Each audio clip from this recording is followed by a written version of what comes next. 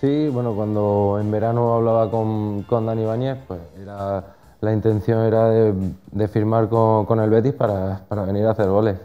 Creo que, que me necesitaban también aquí y, y, bueno, por ahora está, está saliendo bien. La adaptación está siendo buena, estoy muy cerca de casa y los compañeros son la verdad que muy cercanos, me he encontrado muy a gusto y, y por ahora estoy muy bien. Eh, creo que deberíamos de recibir algunos menos, que estamos recibiendo bastante, sobre todo fuera de casa, pero, pero estamos haciendo goles. Están todos los jugadores, tanto Ibi, eh, Eric, que está haciendo también muchos goles, que al final su condición de pivos pues, le, hace, le hace estar ahí arriba y también está, está metiéndolo.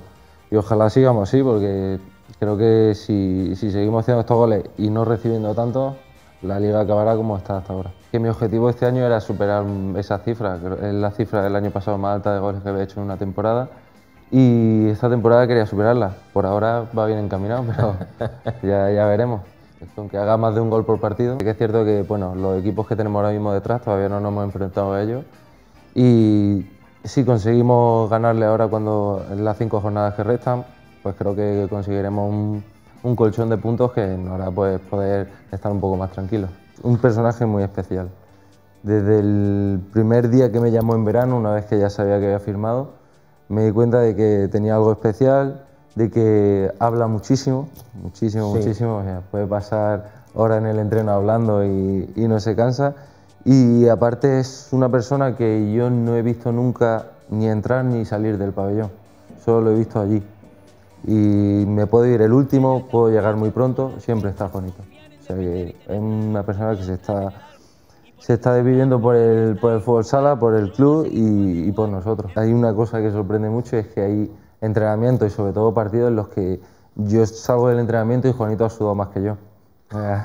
lo vive como nadie, se deja la voz toda la En casa no nos fallamos, por ahora no hemos fallado y creo que lo vamos a seguir haciendo toda la primera vuelta y luego pues tenemos que intentar fuera de casa rascar puntos. Y creo que, tenemos partidos muy complicados como va a ser la, pista de, Elche, por ejemplo, va a ser una pista muy difícil, pero que, bueno, yo creo que, terminaremos en primera posición al final de la primera vuelta. El fútbol sala es un deporte que se disfruta, que hay muchos goles, que es un deporte rápido en el que, en el que la, la de los jugadores, pues la verdad que creo que están por encima del fútbol 11 y, y, que ojalá pues consigamos llenar a mate todos los partidos y, y al final de temporada pues podamos celebrar todos juntos.